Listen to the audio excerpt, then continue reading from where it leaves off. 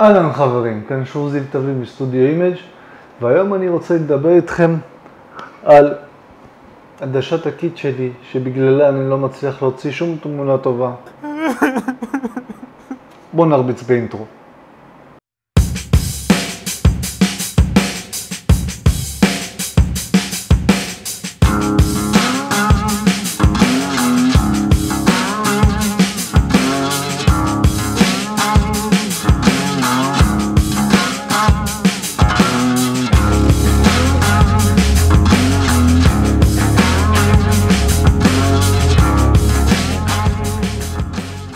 טוב, אז כמובן אני צחקתי בקשר למה שאמרתי, אה, אבל אני אכן רוצה באמת לדבר על העדשות קיט ועל האמונה הזאת שאם יש לך עדשה זולה ולא יקרה, אז וואלה, אתה לא תוציא תמונות טובות, ועד כמה שזה שטויות.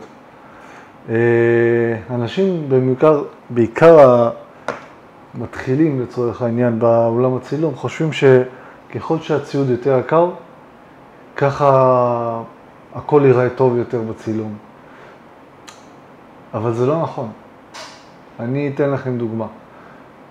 תביאו לבן אדם שלא יודע לצלם את הציוד הכי טוב בעולם, את המצלמה הכי יקרה, את העדשה הכי יקרה בעולם, ותגידו לו, לך, תצלם, תעשה עם זה מה שאתה רוצה. הוא ייתן לכם תוצאות בינוניות, במקרה הטוב. תביאו לצלם טוב, מצלמה זולה, עם עדשה לא זולה ביד, הוא עדיין יוציא לכם תוצאות מדהימות. כי אתם צריכים להבין שהצילום מתחיל פה בראש שלנו, ולא בציוד.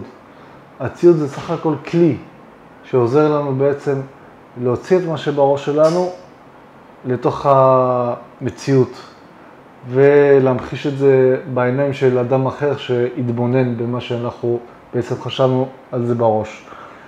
הכלים האלה, שזה בעצם המצלמה, העדשה וכל השאר הדברים, הפלאשים, זה סך הכל כלים שעוזרים לנו לבצע את המעבר הזה מהמחשבה למשהו מוחשי.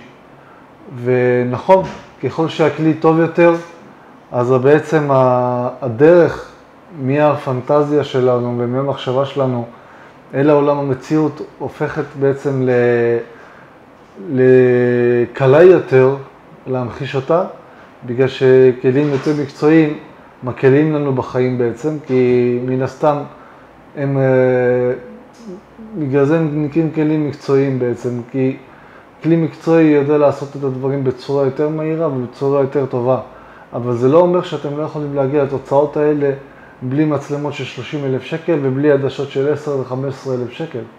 זה ממש לא נכון. אתם אולי תעבדו יותר קשה, אתם אולי באמת אה, תצטרכו אה, להילחם קצת יותר בשביל להגיע לתוצאה הזאת, אבל אתם תגיעו לתוצאה הזאת. אז זאת לא סיבה ממש להגיד כאילו שאם יש לי עדשת קיט שעולה אלף שקל, אז כל תמונה שאני אצלם בעצם היא לא תהיה שווה שום דבר. ותאמינו לי, אני יודע, כי אני התחלתי עם עדשות קיט וצילום, ואני הייתי יוצא אחלה תמונות שהייתי מוציא בהן. אני אמנם עברתי בהמשך לדברים יותר מקצועיים ויותר מתקדמים, אבל לא בגלל שאני לא יכלתי לצלם יפה בעדשות האלה, אלא בגלל שפשוט אה, בצילום זמן זה כסף, ואם אתה עושה את זה בתור מקצוע, אין לך את הזמן הזה של אה, להתעמק בכל, כאילו, לבזבז כל כך הרבה זמן על כל דבר כדי להגיע לתוצאה שאתה רצית אה, בכל תמונה ותמונה. כי לקוחות מן הסתם רוצים את העבודה שלהם כמה שיותר מהר וכמה שיותר, אה, בצורה הכי אפקטיבית שיש, שיש והכי מהירה שיש. אז בעצם הכלים המקצועיים האלה נותנים לנו את האפשרות הזאת להגיע לתוצאות הטובות האלה בצורה יותר מהירה ויותר יעילה. אני לא אשקר ואני אגיד שאם תיקחו עדשה ב-15,000 שקל, מבחינת האיכות זה יהיה זהה לעדשה של 1,000 שקל, ממש לא. ברור שלא, ובגלל זה יש את ההפרשי מחיר האלה. אבל עוד פעם, זה לא מחסום להגשים את הפנטזיה שיש לכם בראש ולהוציא אותה בעצם לעולם המוחשי. לא, אתם יכולים לעשות את זה, זה בר ביצוע, אני עשיתי את זה, אז אני יודע שזה משהו שכן אפשרי לעשות את זה. אם זה היה בלתי אפשרי, וואלה, הייתי אומר, כל העדשות האלה בעצם זה סתם אחיזה בעיניים והן לא שוות שום דבר. אבל זה לא נכון.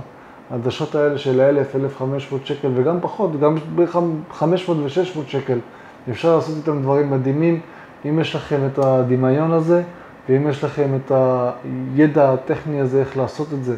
כי ככל שהידע הטכני שלכם והידע שלכם בצילום הוא רחב יותר, הטווח מהמחשבה שלכם, מה שיש לכם בראש, למשהו מוחשי, הוא מצטמצם.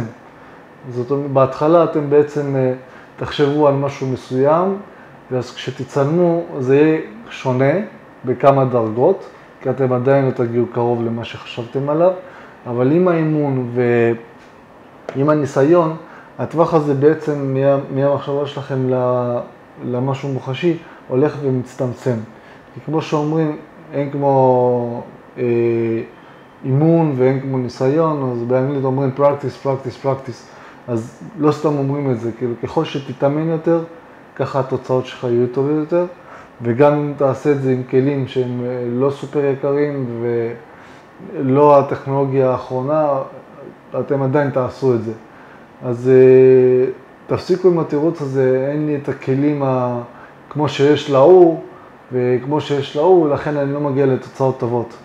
אתם צריכים פשוט לקחת את המצלמה ביד עם העדשה שיש לכם, לצאת החוצה, להתאמן על צמחים, ציפורים, אה, סתם דברים שזרוקים על הרצפה, ובאמת לראות איך אתם מוציאים את הדבר הקטן הזה על הרצפה אה, בצורה הכי יפה. ופשוט להתאמן על זה מכל מיני זוויות, מכל מיני כיוונים של תאורה, ווואלה, אתם תתפלאו לגלות שככל שאתם תעשו את זה יותר, אתם פתאום תתחילו להשתפר ואתם תגיעו לתוצאות שאתם בעצמכם לא חשבתם שאתם תגיעו אליו.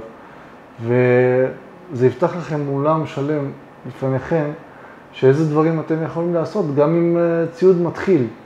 ואז כשאתם בעצם תגיעו למצב הזה שהציוד המתחיל הזה בעצם הוא לא מספק את הצרכים שלכם למשהו שאתם יודעים כבר לעשות, אז זה באמת יהיה שלב שאתם אולי כן כדאי לכם לעלות שלב הבא, ואתם כן תצדיקו את ההשקעה הזאת.